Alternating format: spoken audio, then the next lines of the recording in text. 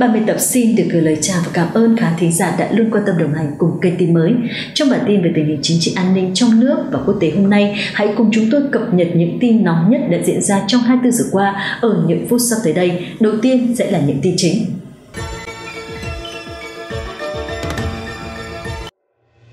Chào mừng các bạn đã quay trở lại với bản tin của tin mới trong bản tin ngày hôm nay. Các bạn thân mến, tin mới sẽ mang đến cho quý vị và các bạn nội dung sau. Bão Solanduo đang đến gần, mưa lớn và mưa lớn cục bộ ở các vùng của Chiết Giang. Kính thưa quý vị khán giả, bắt đầu vào sáng hôm qua, tốc độ di chuyển của bão Solauno giảm hẳn và mắc kẹt ở đại dương phía đông Đài Loan, nơi đã suy yếu thành bão mạnh vào lúc 5 giờ ngày hôm nay. Tuy nhiên, sự suy yếu của Solano chỉ là tạm thời. Từ đêm ngày mai, Solano sẽ đi vào phía bắc để vào lại vùng biển ấm áp khả năng tái tăng cường. 17 giờ hôm nay, tâm bão số 11 năm nay Xuân Lan Nuo ở vào 22,3 độ Vĩ Bắc và 124,7 độ Kinh Đông, cách thành phố Đài Đông, tỉnh Đài Loan khoảng 370 km về phía đông. Xuân Lan Nuo sẽ đi với tốc độ 5 đến 10 km một giờ. Bão di chuyển chậm theo hướng Tây Bắc, cường độ ít thay đổi, di chuyển vào Biển Đông vào đêm ngày mai và cường độ sẽ mạnh lên thành siêu bão cấp 5 trở lại và di chuyển dần đến bờ biển phía đông bắc Chiết Giang. Theo kế hoạch khẩn cấp về phòng chống lụt bão và cứu trợ hạn hán của tỉnh Chiết Giang, chỉ số phòng thủ tỉnh quyết định nâng cấp chỉ số ứng phó khẩn cấp phòng chống bão lên cấp 3 vào lúc 14 giờ ngày hôm nay. Ngoài ra vào lúc 14 giờ ngày hôm nay, Cục Khí tượng Chiết Giang đã nâng cấp ứng phó khẩn cấp bão lên cấp 3 Trung tâm Dự báo và Giám sát Đại dương Chiết Giang đã ban hành cảnh báo sóng vàng theo kế hoạch ứng phó khẩn cấp thảm họa biển. Chịu ảnh hưởng của cơn bão số 11 Xuân Lan Nuo, cấp bão mạnh dự báo sẽ là Vùng biển xa bờ, vịnh Hàng Châu có sóng nhẹ đến trung bình từ 1,2m đến 2,0m sẽ tăng lên thành sóng trung bình đến lớn từ 1,6m đến 2,5m vào tối mai. Có những con sóng lớn đến rất lớn từ 3m đến 4m ở phía Bắc Chiết Giang sẽ tăng vào tối ngày mai với sóng lớn đến cực lớn từ 3,5m đến 5m sóng lớn đến cực lớn từ 3m đến 4m ở trung tâm Chiết Giang sẽ tăng lên 4m đến 6m vào tối ngày mai, sóng cao từ 3,5m đến 4,5m ở phía nam Chiết Giang, sóng rất lớn và sẽ tăng lên thành một đợt sóng rất lớn từ 5m đến 7m vào tối mai. Mức cảnh báo sóng và vùng biển xa bờ có màu vàng. Vùng biển gần bờ, Gia Hưng có sóng nhẹ đến trung bình từ 1,2m đến 1,8m, sẽ tăng lên 1,6m đến 2,5m, sóng trung bình đến lớn vào tối mai. Yushan có sóng trung bình đến lớn từ 2m đến 3m sẽ tăng lên vào tối mai từ 2,5m đến 3,5m. Ninh Ba, Thái Châu và Ôn Châu có sóng vừa đến lớn từ 2m đến 3m, sóng lớn sẽ tăng lên 3m đến 4m vào tối mai. Mức cảnh báo sóng ở vùng biển ven bờ có màu vàng tác động đến Chiết Giang. Từ hôm nay đến ngày mai, vùng biển ven bờ có gió giật mạnh cấp 9, 10. Từ đêm ngày mai đến 2 ngày tiếp theo từ Nam đến Bắc mạnh lên cấp 10, 12. Vùng ven biển Trung Trung Bộ và Bắc Chiết Giang cấp 13, 15. Từ ngày mai đến ngày tiếp theo, sức gió trên bề mặt vùng ven biển phía Bắc Chiết Giang và Vịnh Hàng Châu mạnh dần lên cấp 10, 12. Gió giật ở khu vực ven biển miền Trung và Nam Chiết Giang cũng lên đến cấp 8, 9. Từ đêm nay đến ngày mai, phía đông Chiết Giang có mưa rào, có nơi mưa to. Lượng mưa rõ hơn từ ngày mai đến ngày tiếp theo, có nơi mưa vừa đến mưa to ở các vùng phía đông, có nơi mưa rất to. Mưa lớn và mưa lớn cục bộ ở Ninh Ba, Chu Sơn, Thiệu Hưng và Bắc Thái Châu. Từ đầu tuần tới, toàn tỉnh sẽ có thời tiết nắng đến nhiều mây, Bão Sulanuo có cường độ mạnh và kích thước lớn. Gió mạnh trên biển Hoa Đông và vùng biển ven bờ Chiết Giang kéo dài trong thời gian dài, đồng thời có đầy đủ hơi nước. Có mưa lớn ở phía đông của Trung và Bắc Chiết Giang.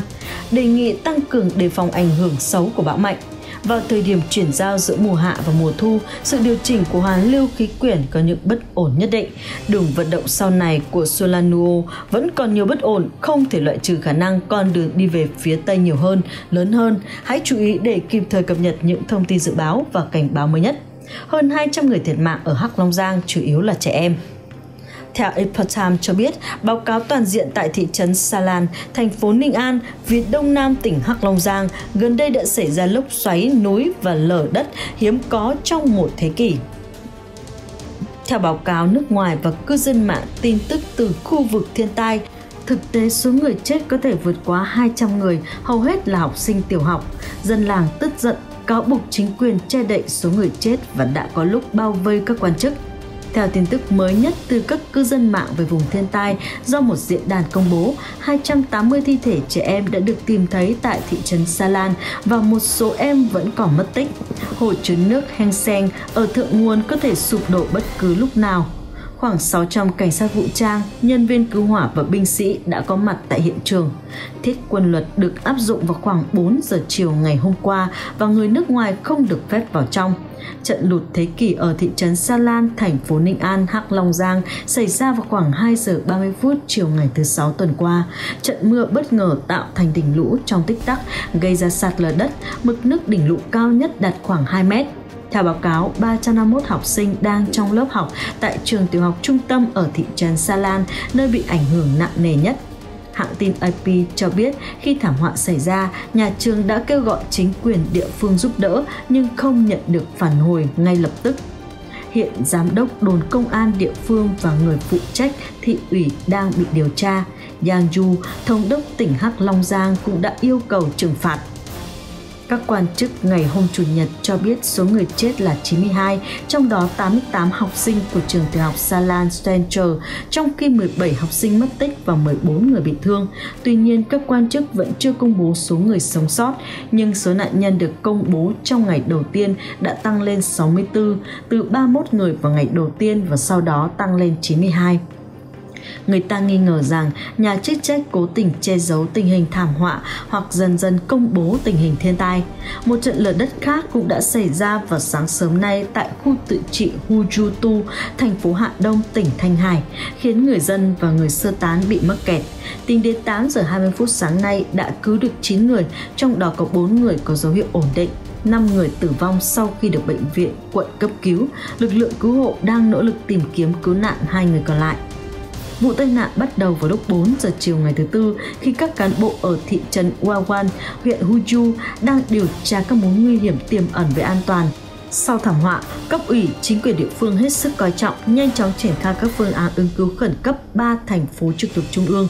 Cán bộ và dân quân nông thôn lên tới hơn 800 người và hơn 80 phương tiện đã được điều động đến ứng cứu. Theo The Epoch Times đưa tin, do bị ảnh hưởng bởi luồng không khí từ vòng ngoài của La Bàn, huyện Đài Đông đã có mưa liên tục trong nhiều ngày, điều này đã đưa ra cảnh báo cho nhiều người. Chính quyền huyện Đài Đông đã khẩn trương thành lập trung tâm ứng phó thảm họa sạt lở đất vào trưa ngày hôm qua, đồng thời thông báo khẩn cấp rằng huyện sẽ ngừng hoạt động các lớp học vào chiều ngày hôm nay.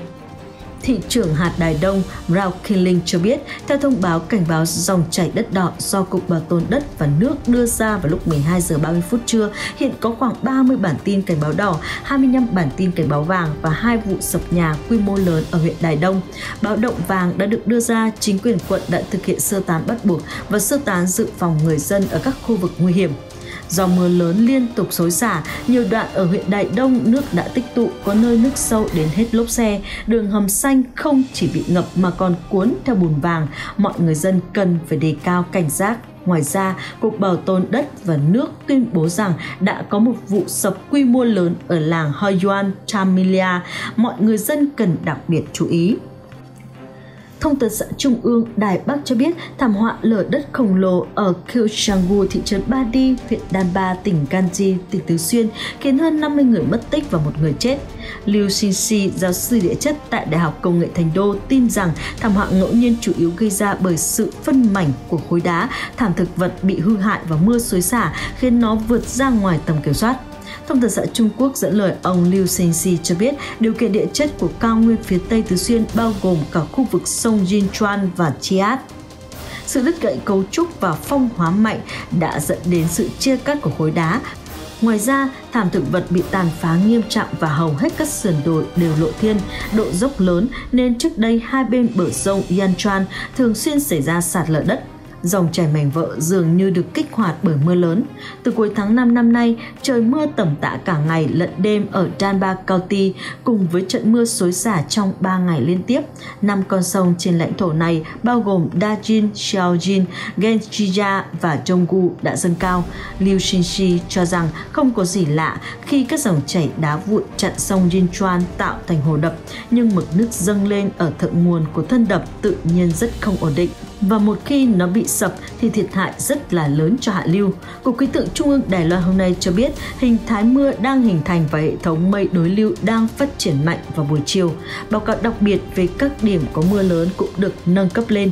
Cập nhật lúc 18 giờ 05 phút tối nay, Tổng cục Khí tượng Trung ương công bố thông tin có 11 huyện thành phố báo tin đặc biệt về mưa lớn, 5 huyện thành phố báo tin đặc biệt về mưa rất lớn. Cục Khí tượng Trung ương Đài Loan đã ban hành một báo cáo đặc biệt về mưa lớn vào buổi chiều hệ thống mây đối lưu đang phát triển mạnh vào buổi chiều, đang tiến gần phía trước, có khả năng xảy ra mưa to cục bộ hoặc mưa xối xả có khả năng xảy ra mưa to cục bộ ở nam đầu Ia Lan, các vùng núi phía bắc Cao Hùng và Hoa Liên. Xin hãy chú ý đến xét và gió giật mạnh và cẩn thận lũ lụt ở các vùng trũng thấp. Các khu vực báo cáo đặc biệt về mưa lớn bao gồm thành phố Kielung, thành phố Tân Bắc, thành phố Đài Bắc, thành phố Đảo Viên, quận Tân Trúc, quận Miaoli, quận Nam Đầu và các khu vực báo cáo đặc biệt về mưa lớn bao gồm thành phố Đài Trung, quận Vân Lâm, quận Giang Nghĩa, thành phố Đài Nam, thành phố Cao Hùng, Gia Lan County, Hualien County. Cục Khí tượng giải thích rằng mưa lớn là lượng mưa tích lũy trong 24 giờ trên 80 mm hoặc lượng mưa hàng giờ từ 40mm trở lên. Mưa đặc biệt lớn là lượng mưa tích lũy trong 24 giờ từ 200mm trở lên hoặc tích lũy trong 3 giờ lượng mưa từ 100mm trở lên.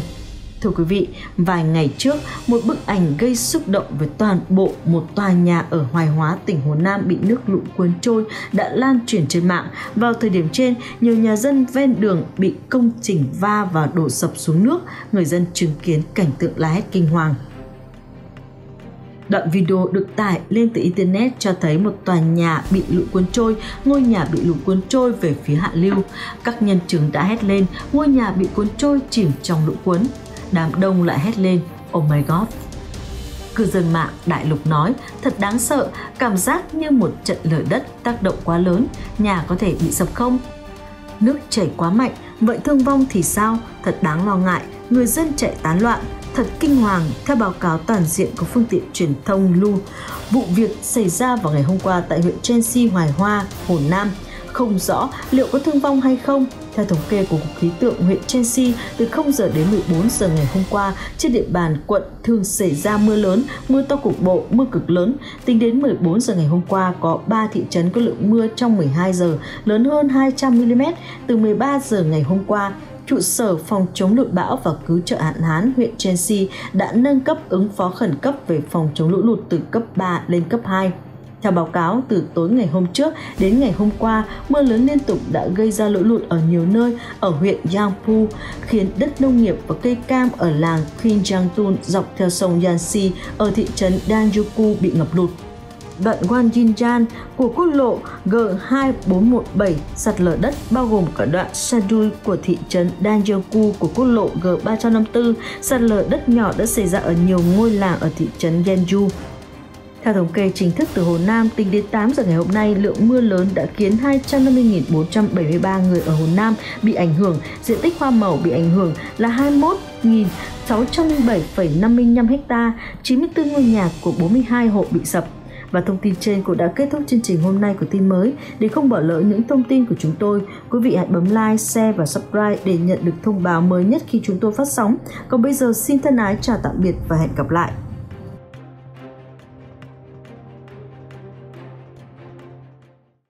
Vâng thưa quý vị, bản tin hôm nay tới đây là kết thúc. Chân thành cảm ơn quý vị và các bạn đã theo dõi bản tin của chúng tôi. Chúc quý vị và gia đình luôn mạnh khỏe, hạnh phúc. Nếu thấy hay thì hãy đăng ký kênh, sau đó nhấn biểu tượng chuông ở góc phải màn hình để không bỏ lỡ những tin tức mới nhất mà chúng tôi sẽ cập nhật. Còn bây giờ xin chào và hẹn gặp lại.